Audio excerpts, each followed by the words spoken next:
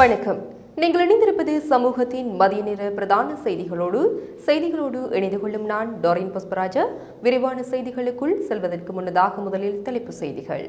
சிறுவர் தினத்தில் போராட்டம் காணாமல் ஆக்கப்பட்டோரின் உறவுகள் கோரிக்கை. முப்படையினருக்கான ஊக்குவிப்பு கொடுப்பனவு குறித்து பாதுகாப்பு அமைச்சின் விசேட அறிவிப்பு. ஊழலை ஒழிப்பதற்காக பாராளுமன்ற தேர்தல் அடக்குமுறைக்கு எதிராக ஜனநாயக அமைப்பு சுயேட்சையாக களமிறங்கும் தம்பிராசா தெரிவிப்பு. தமிழரசு கட்சியின் நிலைப்பாட்டில் நாங்கள் போக முடியாது தர்மலிங்கம் சித்தார்த்தன் கருத்து. பாணந்துறை பள்ளியமுள்ள பிரதேசத்தில் போலீசாரின் துப்பாக்கிச் சூட்டில் ஒருவர் வைத்தியசாலையில் அனுமதி. கட்டுநாயக்க விமான நிலையத்தில் இளம்பெண் கைது. சகல நாடுகளுக்கும் சகலவிதமான விசா வழிமுறைகளையும் சட்ட ரீதியான விசா ஆலோசனைகளையும் பெற்றுக் கொள்வதற்கு பத்து வருட கால சேவை அனுபவம் கொண்ட சன் டிராவல்ஸ் அண்ட் டூர்ஸ் சிறுவர் தினத்தை முன்னிட்டு கிளிநொச்சியில் வலிந்து காணாமல் ஆக்கப்பட்டோரின் உறவினர்களால் நாளைய தினம் கவனஈர்ப்பு போராட்டம் ஒன்று முன்னெடுக்கப்பட உள்ளது தொடர்ச்சியாக காணாமலாக்கப்பட்டோரின் உறவினர்களால் போராட்டமானது மாதத்தின் இறுதி நாளாகிய முப்பதாம் திகதி நடைபெற்று வருகின்ற நிலையில் இன்று நடைபெற இருக்கின்ற போராட்டமானது நாளைய தினமாகிய சிறுவர் தினத்தில் முன்னெடுக்கப்பட உள்ளதாக தெரிவிக்கப்படுகின்றது. இந்த கருத்தினை வடக்கு கிழக்கு வலிந்து காணாமலாக்கப்பட்டோர் உறவுகள் சங்கத்தின் யாழ் மாவட்ட செயலாளர் நிர்மலநாதன் மேரி ரஞ்சினி தெரிவித்துள்ளார். இதன்போது தொடர்ந்தும் கருத்து தெரிவித்த அவர் கடந்த காலம் ரெண்டாயிரத்தி பதிமூன்று லலித் என்பவர் அவர்தான் யாழ் மாவட்டம் வந்து இந்த காணாமல் ஆக்கப்பட்டவருடைய விவரங்களை எல்லாம் எடுத்துக்கொண்டு போய் கொழும்பில் நாங்கள் பெரிய ஆர்ப்பாட்டம் செய்து அதுக்கு பிறகு ஜேவிபி ஆஃபீஸ்க்கெல்லாம் நாம் போயிருக்கிறோம். முப்பத்தி ரெண்டு பேரோட போய் அங்கேயும் போராட்டங்கள் செய்து நாங்கள் திரும்பவும் யாழ்ப்பாணம் வந்த நாங்கள் இப்போ வந்திருக்கும் அனுராத சின்ன ஜனாதிபதி என்பவர் கடந்த காலம் லலித் எனக்கு தொ- தொடர்பு பண்ணி வந்தது யாழ்ப்பாணம் வந்த சமயம். நாங்கள் யாழ்ப்பாணத்தில் சாப்பிட வேணும்னு சொல்லி கேட்டிருந்த சமயம் என் சந்திரசேகர் ரமிக்கும் தெரியும். முன் முன்னாள் அவ அவளுக்கு என்ன சாப்பாடு வேணுமென்று நாங்கள் கேட்ட நேரம் தங்களுக்கு நண்டு சமைக்க தர சொல்லி கேட்டிருந்தார். ஒரு எங்களோட ம- குரு குருசவர் ரோட்டில் உள்ள ஒரு வீட்டில் தான் நான் நண்டு சமைச்சு இங்கே காணாமல் ஆக்கப்பட்டவருடைய எல்லா விவரங்களையும் மேற்கொண்டார்கள். அவர்களுக்கு எங்களை பற்றி தெரியும். அதால் தான் இந்த முறை நான் எதுவும் மௌனமாக இருக்கிறேன் அந்த ஞாபகம் அவருக்கு இருக்கும் என்று நினைக்கிறேன்.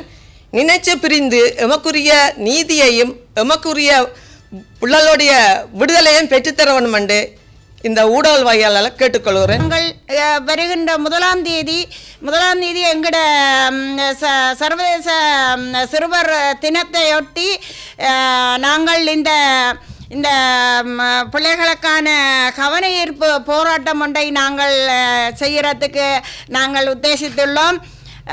என்னென்னு சொன்னால் நாங்கள் இவ்வளவு இவ்வளவு காலமும் நாங்கள் பொறுமையாக இருந்த நாங்கள் இருந்த பிள்ளைகளுக்கு நாங்கள் சர்வதேச சிறுவர் தினம் என்று சொன்னால் இவ்வளவு பிள்ளைகளையும் இழப்பை கொடுத்து இவ்வளவு இழப்பு வந்தும் நாங்கள் அந்த தினத்தை நாங்கள் கொன்றா கொண்ட இந்த இருக்கிற பெஞ்சு இருக்கிற பிள்ளைகளோட கொன்றாள கொண்டாடுற அளவுக்கு இல்லை.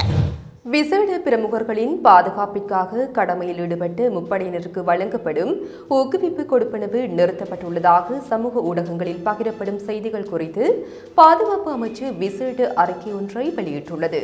இந்த ஆண்டு செப்டம்பர் இருபத்தி இரண்டாம் தேதி வரை விசேட பிரமுகர்களின் பாதுகாப்பிற்காக கடமையில் ஈடுபடுபவர்களுக்கு ஊக்குவிப்பு கொடுப்பனவு வழங்கப்படும் என பாதுகாப்பு அமைச்சு முப்படை தளபதிகளுக்கு எழுதிய கடிதத்திலேயே இவ்வாறு தெரிவிக்கப்பட்டுள்ளது. அக்கடிதத்தில் மேலும் குறிப்பிடப்பட்டுள்ளதாவது முன்னாள் பிரமுகர்களின் பாதுகாப்புக்காக ஈடுபடுத்தப்பட்ட முப்படையினரும் இரண்டாயிரத்தி இருபத்தி நான்கு செப்டம்பர் இருபத்தி இரண்டாம் திகதிக்கு பின்னர் உயர் அதிகாரிகள் பாதுகாப்பு கடமைகளில் ஈடுபட மாட்டார்கள் என பாதுகாப்பு அமைச்சு முப்படைகளின் தளபதிகளுக்கு கடிதம் மூலம் அறிவித்திருந்தது. அவ்வாறு செப்டம்பர் மாதம் இருபத்தி இரண்டாம் தேதிக்கு பிறகு எந்த கடமையிலும் ஈடுபடாதவர்களுக்கு அந்த கொடுப்பனவு நிறுத்தப்பட்டுள்ளதாகவும் தெரிவிக்கப்பட்டுள்ளது. மேலும் பாதுகாப்பு படைகளின் பிரதானி முப்படைகளின் தளபதிகள் மற்றும் முன்னாள் ஜனாதிபதிகளின் பாதுகாப்பு கடமைகளில் ஈடுபடுத்தப்பட்டுள்ளனர். முப்படை தளபதிகளுக்கு இந்த கொடுப்பனவு வழங்கப்படுவது நிறுத்தப்படவில்லை எனவும் பாதுகாப்பு அமைச்சு மேலும் தெரிவித்துள்ளது. பாணந்துறை பள்ளியமுள்ள பிரதேசத்தில் போலீசாரின் துப்பாக்கிச் சூட்டில் ஒருவர் காயமடைந்து வைத்தியசாலையில் அனுமதிக்கப்பட்டுள்ளார்.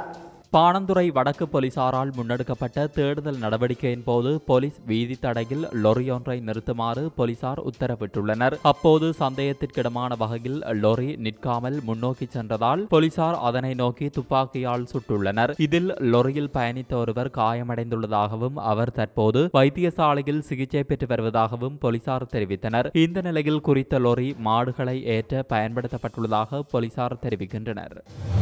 ஊழலை ஒழிப்பதற்காக பாராளுமன்ற தேர்தலில் அடக்குமுறைக்கு எதிரான ஜனநாயக அமைப்பு சுயேட்சையாக களமிறங்கும் என்று அடக்குமுறைக்கு எதிரான ஜனநாயக அமைப்பின் தலைவர் தம்பி ராசா தெரிவித்துள்ளார்.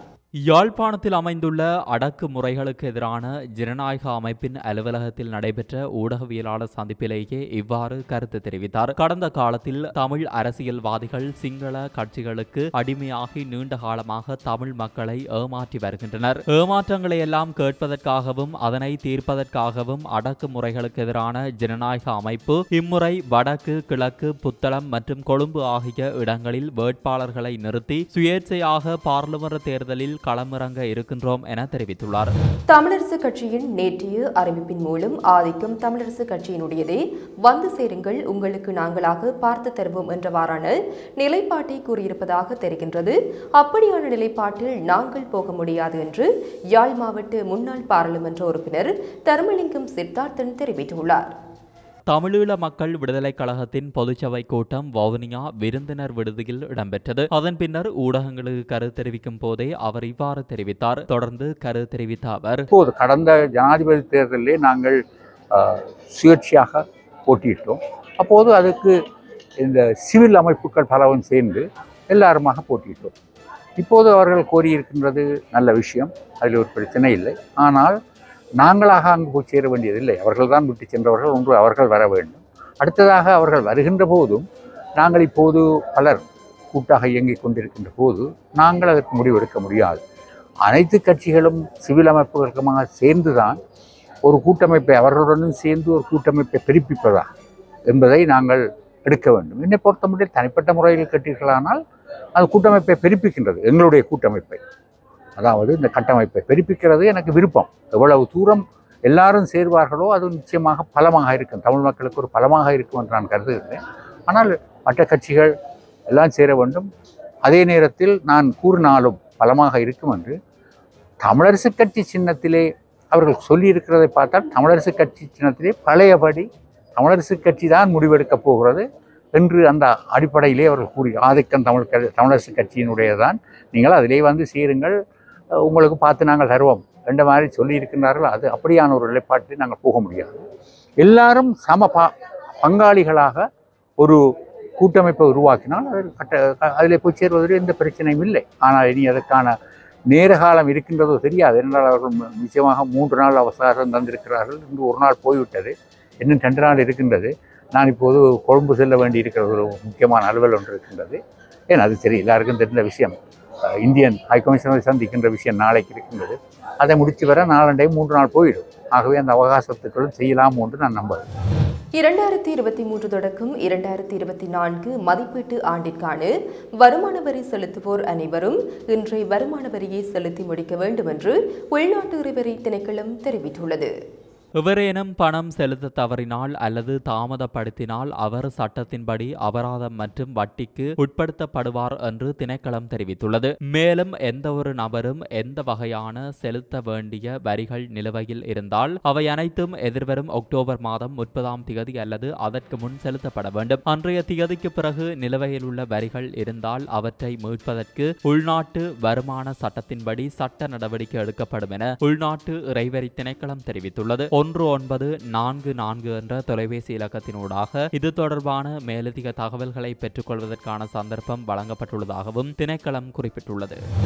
இலங்கையின் புதிய ஜனாதிபதியாக அனிருகுமார திசாநாயக்கு பதவியேற்ற பின்னர் வழங்கப்பட்டு அனைத்து நியமனங்களிலும் சிக்கல் ஏற்பட்டுள்ளதாக முன்னாள் நாடாளுமன்ற உறுப்பினர் அஜித் பெரேரா தெரிவித்துள்ளார்.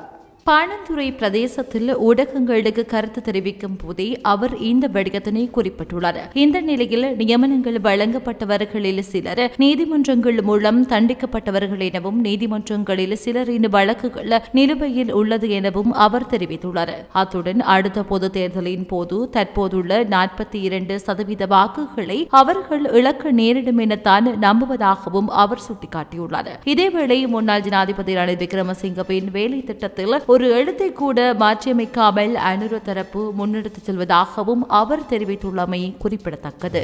திருகோணமலை சேருநுவர போலீஸ் பிரிவில் உள்ள எல்பி த்ரீ பகுதியில் உள்ள வீதியில் வட்டாரக வாகனத்தில் பயணித்தோர் மீது ஜானி தாக்கிய நிலையில் மூவர் படுகாயம் அடைந்துள்ளனர்.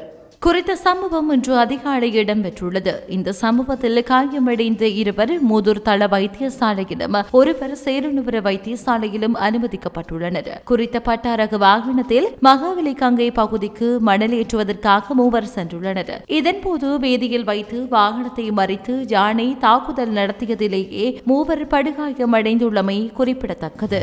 கட்டுநாயக்க விமான நிலையத்தில் இன்று அதிகாலை பெண்ணொருவர் கைது செய்யப்பட்டுள்ளார்.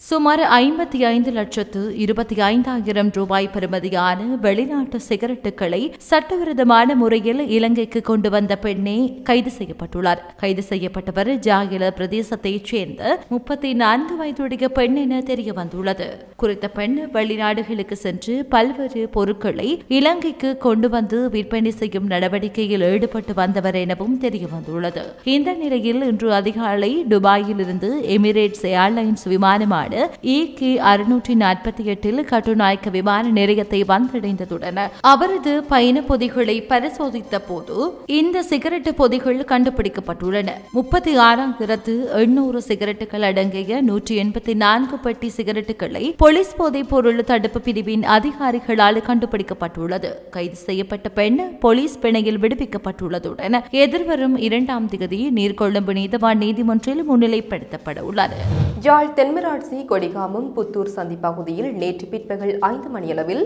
விபத்து ஒன்று இடம்பெற்றுள்ளது.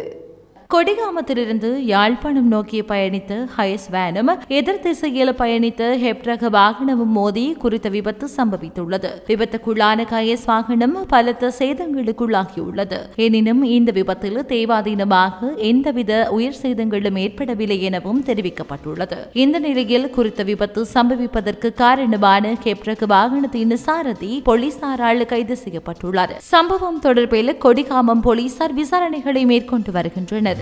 நாட்டிற்கு வருகை தந்துள்ள சுற்றுலா பயணிகளில் இருபத்தி ஒன்று தசம் ஆறு சதவீதமானோர் இந்தியாவிலிருந்தே வருகை தந்துள்ளதாக சுற்றுலா அபிவிருத்தி அதிகார சபை தெரிவித்துள்ளது.